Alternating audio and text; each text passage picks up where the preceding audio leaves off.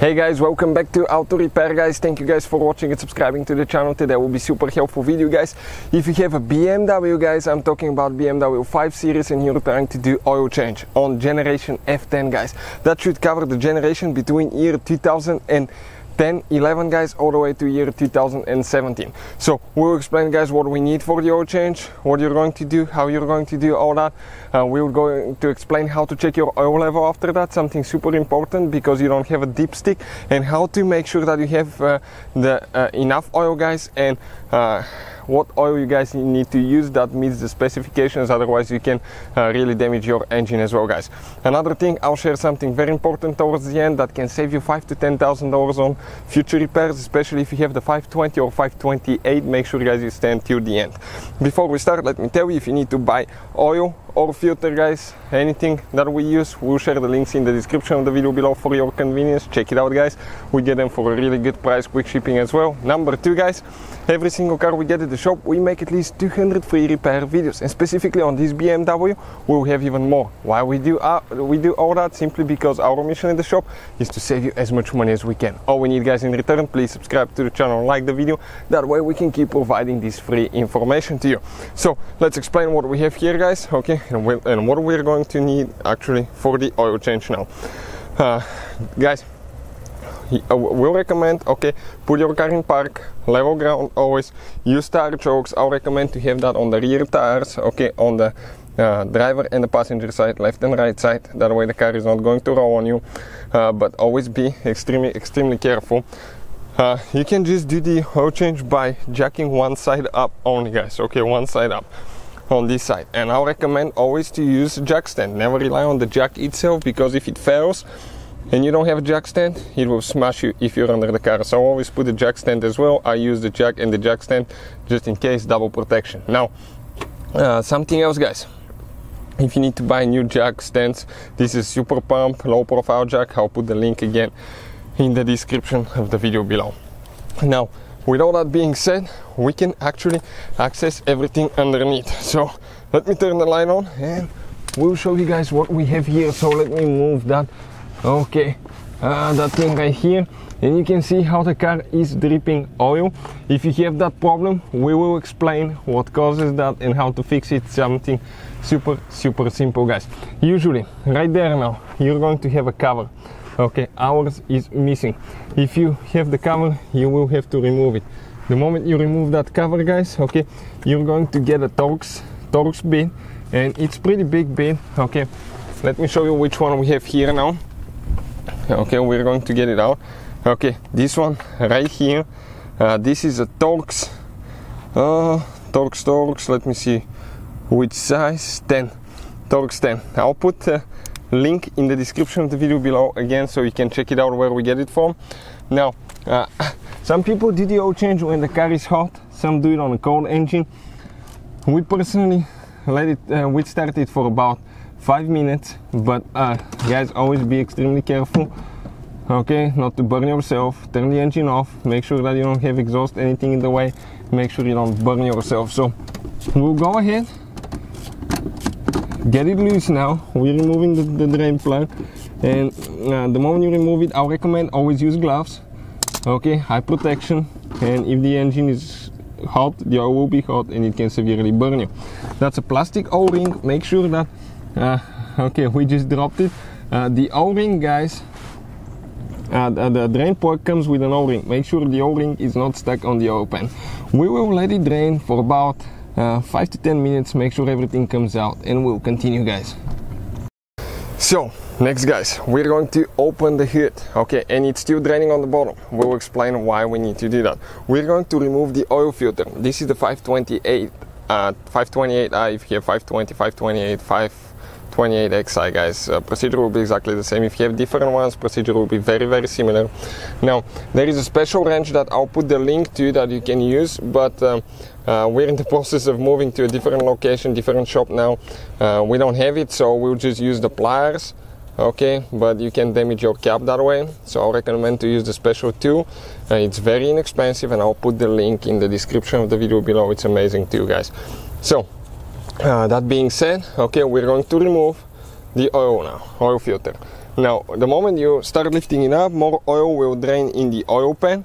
This is because you have some oil in the oil filter housing and as a result okay that oil okay will drain back in the oil pan. And even though it's been draining for a while okay you see that we're getting even more now out. This is because of that uh, oil filter. So get a plastic bag always recycle those guys filters take them to a center that recycles them check out all the oil that's going back to the oil pan. Okay perfect. And um, now okay you can see all that is going back down. So now let's see what we have here. The new filter. I'll put the link to the original bmw filter where you can get it for a really really good price guys. Original bmw certified filter you can see with the hologram here and i'm going to put the link in the description of the video below. Really good price.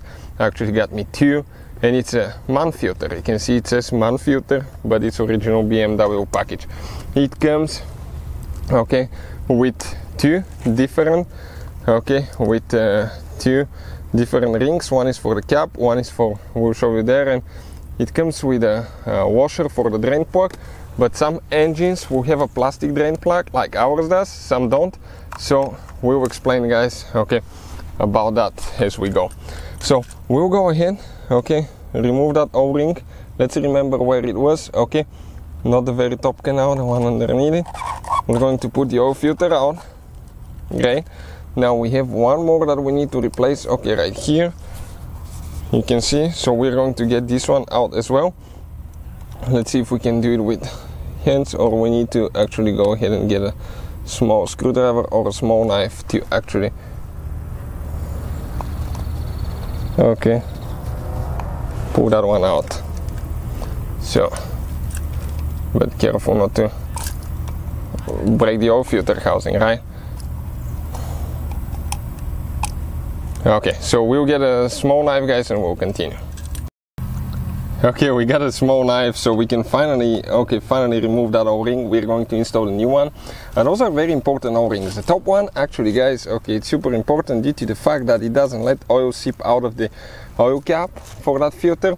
The bottom one is the one that keeps actually uh, the pressure okay oil pressure so otherwise it is going to drain back in the oil pan and uh, that could be that could be catastrophic guys because you will have dry starts what that means when you start the car that hasn't uh, a car that hasn't been driven for a long time it will not have enough oil pressure and that could lead to uh, engine failure such as uh, main bearings rod bearings damage to the cylinder head, quite a, quite a bit of problems guys. Now we're going to apply a little bit of oil to the O-rings with our finger. This oil guys, it's the magic right here, green oil, yeah, that's the Liqui Moly Molygen. Okay, this is amazing stuff guys, this is one of the best oils that we've used and uh, it meets the specifications for that BMW. I'm going to talk about that in a little bit, okay. It's actually green in color, you're going to see in a little bit. And we're going to apply a little bit okay? Perfect. And now we're going to get the filter okay? The filter is practically the same on both sides so it doesn't matter which one you put in. Okay push it good make sure it goes good. Now we're going to install it on the housing and we can get it tight now. It's still draining on the bottom. That's perfectly fine. And if you have the special tool actually it will be really good for you due to the fact that you will be able to uh, use the torque wrench and you will be able to torque it down to 20 uh, to uh, 25 plus 5 newton meters. So uh, what uh, what that means. Okay you set the torque wrench and when you hear the click you stop. Uh, we'll show you how to use the torque wrench in a little bit on the actually on the oil pan and if you need to buy one I'll definitely recommend it. So because if you have a plastic oil pan you can easily damage that. We've seen quite a few damaged. And uh, believe me guys it's a nightmare to replace it. We made a special video how to replace it and uh, we have it on the channel but it takes quite a bit of work. So okay this one is ready tight. So we gotta make sure that okay it's compressed all the way. Now we're ready to go on the inside. We're going to go ahead and close it now. Now guys, a common problem on those things will be a leaking drain plug. This is because people will often damage the uh, the oil pans or they'll get them too tight they'll mess up the thread a little bit but they sell three different oversized okay three different oversized drain plugs that are a step bigger uh, and uh, almost uh, not noticeable with uh, with your eye guys but it prevents them from leaking. So if you have that problem we started dripping a little bit on ours uh, and I'll order some but I've used them in the past and I'll put the link in the description of the video below where you can get them so please check it out. Now we have the torque wrench. According to that thing it says that we need to go at about 8 newton meters max 8 newton meters. So we have the torque wrench set at 8 and once we reach that torque what will happen you will hear the wrench click. The moment it clicks stop immediately because if you over torque it okay you can severely damage your oil pan. So we're going to go all the way underneath now. Okay install the plug. Okay and we're going to start getting actually uh, getting that thing, uh, thing tight you will see in just a second so Okay, let's see where the plug went. It's all the way towards the back.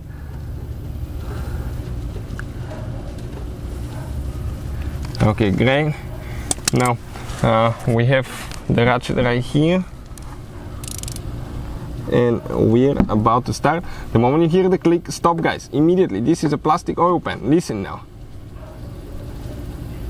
Okay, listen for that click. Okay, that's it. Don't go too much. Okay, perfect. That's it. Okay, and we're done underneath here. So uh, what we can do, get out of the car. Okay, we can drop everything. Okay, we can uh, just bring the car down. Make sure nobody's underneath it. We can release the jack and we can continue with the next step. Alright, so we're ready guys to continue with the next step. So what we're going to do now, we're going to remove the jack stand. Okay, and we're going to drop the car down. Okay, check it out now. Next guys, you need to always consult your manual. You need to guys consult your manual and make sure that uh, the oil that you're using meets the BMW specifications. If you want to see where to get original BMW oil, we'll put the link in the description of the video below. But we love that oil guys. It's green, it's amazing. Uh, really good qualities. You can see more about it on the back. Really, really amazing product guys. And uh, right here guys, you can see the uh, okay the standards that it meets BMW long life up to year 2018 Mercedes-Benz Fiat Opel Porsche Renault and Volkswagen as well. So I'll go ahead okay and we'll go ahead and put oil now. So Okay guys, now uh, you always need to check your oil capacity, but what do we usually do? Okay, and that's why it's a good idea to watch the video, make sure guys that everything's good and uh, you're not going to screw up your car. Remove the oil cap. Now, a weak spot on these engines is the timing chain, something I wanted to talk uh, to you about guys, that can cost you five to ten thousand dollars. That's a new timing chain guide, new timing chain. We just did the video guys, how to replace the timing chain and all that stuff, uh, because otherwise, okay, certain BMWs, okay, with that that engine can fail okay? The timing chain failed and it did fail on this one and it had only 87,000 miles guys. Fortunately we didn't uh, mess anything up. All we had to do install a new chain but uh, not very many people are lucky like we were. So what I recommend check out guys we have a special video that explains the timing chain problem. I'll try to put the link in the description of the video below. Also guys we have a special video that explains how to replace it a guide from step one to the very end that will teach you how to do your timing chain.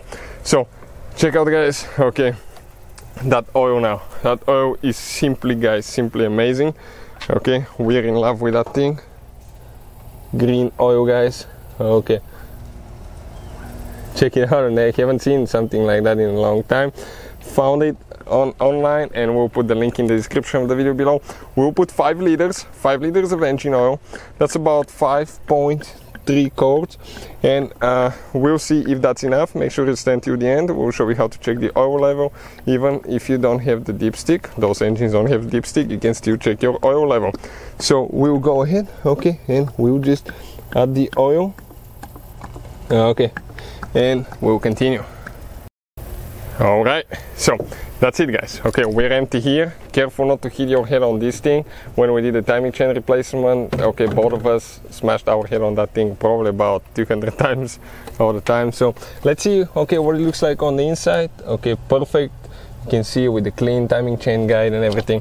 So we're going to go ahead close it okay and we'll show you guys okay what we need to do next. So next step we're going to go inside and I'll show you okay what we have right here guys okay check it out. We're going to go ahead and start the car. That's what you need to do. Make sure the oil light is not on. Okay oil light it shouldn't be on. If it's on stop the car immediately. If you have a warning that relates to oil pressure or anything like that turn the car off immediately guys. We don't have any of those problems. What we'll do now okay with the iDrive I'm going to select confirm. Next you need to click menu. Check it out. Menu. Then we're going to go okay let me turn the light off I'm going to uh, scroll down okay until we get to vehicle info. Enter the button push down. Next screen we're going to go to vehicle status select vehicle status. Next guys go to okay right here. Let me show you where. That says measure engine oil. Now uh, right here we're going to click ok it says measurement only possible while engine is at operating temperature and switched on and vehicle is parked on level surface. We're on a level surface, select parking or neutral, do not pre press accelerator. So now it's in park. What we'll do guys now, okay, we're going to let it idle. We put 5 liters of oil guys. We'll let it idle when the oil temperature starts raising, okay, and when the start right here turns white, it means that we can check the oil level. So we'll wait for that We'll let the car idle for a little bit and we'll continue and show you what you need to do next. So, now guys, it's been probably about 5 minutes. You can see the oil temperature uh, just started moving. Okay, you can see right there. So, now uh, let me turn the light off. Start measurement is white. I'll click on that. Car is in park. Okay, and uh, you can see it's going to rev the RPMs to about 1100 RPMs. While it's doing that, I'm not pressing the pedals or anything like that so we're just waiting now okay let me just turn the light down a little bit so you can see a little bit better perfect and uh, right now it's at uh, 20 okay 29 30 30 percent so it's going to take uh, probably about I don't know probably about a minute to do the measurement and we'll see exactly how much our oil level is and if we need to add some. So uh, remember we put the whole jug 5 liters so we'll see okay if that is enough or definitely uh, we'll need more. So hopefully hopefully we don't but that way you will be prepared. So it really depends on how well you drain your system as well. Ours we drain it quite a bit. Probably it stayed 20 minutes open we uh, waited until it was barely barely dripping. And if you level your car we'll get even probably a little bit more out of it. So okay always always have to make sure that the oil level is good. Make sure you don't have oil leaks. Make sure the oil filter is not leaking as well. 100% okay test. And now our oil level is at max guys. Right at maximum. So we're definitely okay ready to go definitely that took care of the problem. So hopefully guys the video will be helpful into uh, uh, finding out how to do an oil change on BMW guys uh, F10 or BMW with that 4 cylinder N20 engine. Hopefully the video will be helpful. Thank you for watching and see you guys next time